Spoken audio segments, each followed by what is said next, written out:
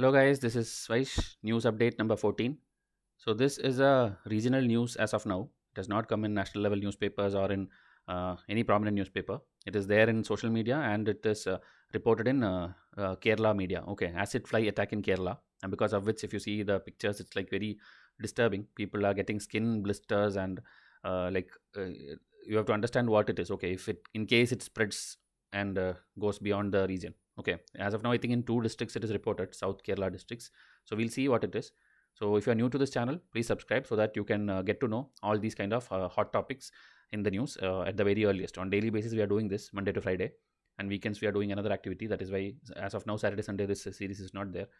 So this is uh, reported in uh, cochin district or ernakulam district in kerala south kerala and uh, one more district is there i believe um, so who have to be careful? People who have lot of trees and plants etc surrounding your house. Okay you'll, you'll especially in villages or uh, small houses with a small compound where a lot of trees and all and branches and all extending onto your house. Okay so these insects are found on the plants and they'll have a higher chance that it will come in contact with you also. So they are the ones who are uh, like likely to be affected. So uh, among all these things happening already this uh, corona and black fungus yellow fungus white fungus now it's a new headache for people over there. Okay but uh, unlike the other ones it is not a fungus or bacteria or virus. It's actually a fly okay? Like you see in picture it's a fly. Size about 5 millimeter half a centimeter. So dead or alive if it touches the skin it is harmful okay? It's harmful for you. So it's available in various colors. I'll show you in the next uh, slide. So here in kerala what is seen is what you see in picture the black brown one and it's like attracted to light like all other insects. You know when like rainy season and all when you are like in a dark room also if there is some small light or anything the, uh, many insects come get attracted to that. Same like that this is also attracted to that. Okay but problem with this is it is uh, having a toxin inside that. So it's more dangerous at nights. Also when you sit outside your home in evening time and all maybe you sit alone or with your family and all that time this if it comes on to you and uh, sits on your hand or leg or whatever you instead of hitting it and killing it because it will make the toxin spread more on your skin you should somehow uh, blow it away or make it leave your body okay? So mobile lights laptop lights etc inside uh, the dark room okay? This is where uh, these things are more likely to be seen. And this is not a new thing. Um, 5 10 years 15 years back and all in african countries this uh, mysterious blister case was there okay? Which was uh, like spreading panic because wherever a lot of forest kind of thing is there this thing is going to happen okay? And it was called like nairobi flies.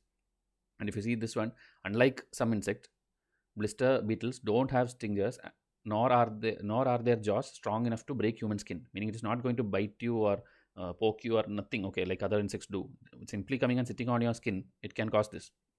So in this family of uh, this uh, blister some meloid family okay in that many colors many variants of that is there in uh, various regions but uh, it all has this uh, defensive secretion okay it has something inside it the blistering agent okay called as cantharidin about which i'll tell in the next slide uh, 7500 species are there worldwide and some of them are aposematically colored. I'll explain that also what is aposematic because it's an environment ecology kind of term for exams. Maybe you, you will be needing it. Okay. So it announces their toxicity to uh, would be this thing predators.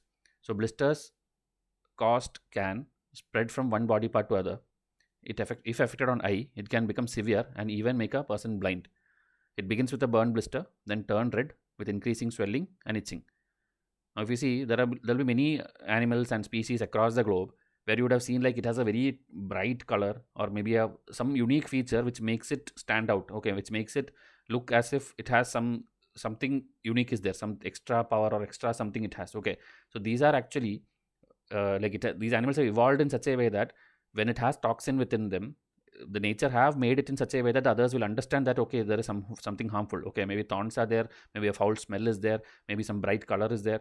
Okay so this is indirectly telling us that it has some uh, problem with that. Okay with that animal the poisonous frogs and all in, uh, like uh, you know. So this is the advertising by an animal to potential predators that it is not worth attacking or eating. Okay this unprofitability may consist of any defenses which make the prey difficult to kill and eat such as toxicity venom foul taste or smell, sharp spines, or aggressive nature. These signals may take the form of coloration, sounds, odors, or other perceivable characteristics. So, these signals are beneficial for both predator and prey since both avoid potential harm. Okay, so this term I thought it will be useful for you. And another thing is in nature, one interesting thing is there is the mimic kind of animals also. Meaning, if you see this one, uh, the coral snake has this kind of coloration and it's like indicating that it is poisonous. Okay, genuinely poisonous. But other animals evolved to become that way. Okay, if you see this one, this is a harmless red milk snake. But this is in nature, there is a mimic concept also where animals over time mimic it to become something like that. So that when uh, somebody is coming to attack it, they will think, okay, this is that coral snake which has some uh, poison in it.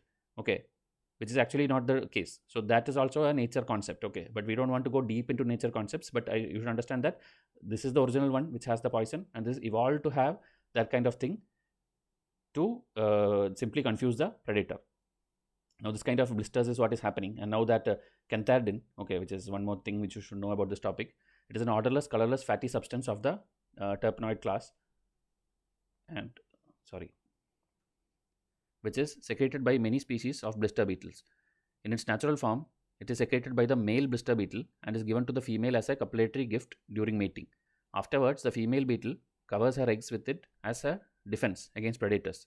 So, this is classified as an extremely hazardous substance in the United States and is subject to strict reporting uh, requirements by facilities that produce, store, or use it in significant quantities. So, in USA and all, it is very strict of even storing that kind of thing. Okay.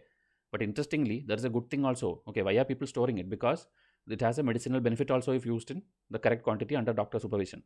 Okay, these uh, skin uh, uh, problems, okay, the skin tags and these warts and all which people have sometimes, uh, when applied to warts, this uh, chemical in this medicine causes a blister to form underneath the wart, cutting off its blood supply. As a result, the wart gradually disappears without damaging the skin.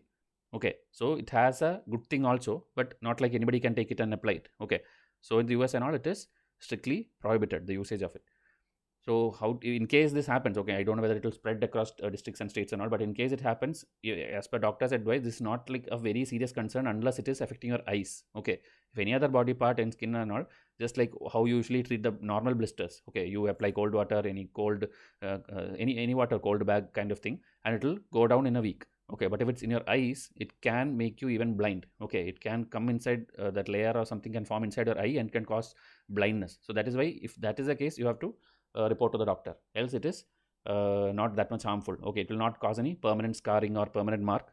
Okay so to protect yourself only thing you have to do is these uh, blister beetle how it looks like. Okay you should know like how it looks like and take the precautions like okay this i should not hit and kill or i should not make that toxin spread here and there.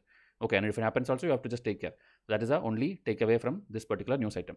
Okay so subscribe to our channel. Every day we are putting news. Everything is like this less than 10 minutes. So you can learn various topics. So i'll come up with the next video. Thank you and have a nice day